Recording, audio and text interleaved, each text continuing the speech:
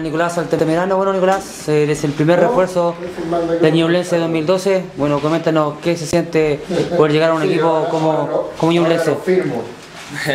Para mí es un honor estar acá en este equipo, que sigue siendo equipo de primera, a pesar de estar en segunda, eh, sigue siendo una institución importante, sigue siendo de primera, así que hay que tratar de subir lo antes posible. Y voy a tratar de aportar con lo que más pueda para que se logre eso.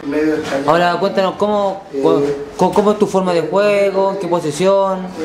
Yo soy volante de enlace, volante de creación y mi estilo de juego es tratar siempre de jugar hacia adelante, eh, harto remate en distancia y y habilitar a los delanteros.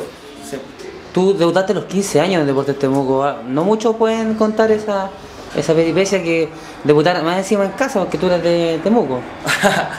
sí, me tocó la suerte de que, de que un técnico confiara en mí eh, y, por suerte lo pude hacer bien y, y eso valió para que pudiera para que pudiera llegar a Santiago.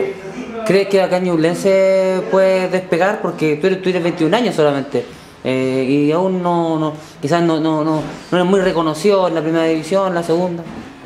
Eh, esa es la idea. Vengo siempre con, con la, ilusión de, hacer una buena campaña y, creo que este, este es el año que, tengo que explotar y que, y que tengo que dejar a Ñublense arriba. ¿Qué sabe de deporte Ñublense? Es un gran club, han pasado muchísimos amigos míos por acá y siempre con buenos comentarios, siempre eh, dicen que el hincha de, de Ñublense incondicional apoya siempre, juegan siempre con gente, eso es importante igual para jugar. Ahora, Carlos Rojas, un hombre que a ti te, te, conoce desde la Unión Española cuando él trabajaba en cadetes. Así es, y cuando estaba también en, en el primer equipo con Jorge Garcés, también nos conocemos de ahí, así que qué mejor que llegar a un club, a una institución importante y además con, con un técnico que, que, ya te conoce de antes. ¿Qué le podría decir a la hinchada que está un poco dolida por haber bajado a segunda división y quiere subir el próximo año mm, de inmediato? Me imagino que está dolida, pero que, que, que no bajen las ganas, que sigan yendo a apoyar al estadio, que, que la idea y el compromiso está de, de tratar de subir este año sí o sí. Ahora, ¿qué, qué van a, eh, ¿qué pueden esperar ellos de ti? ¿Puede jugar en la cancha, correr bastante? ¿qué?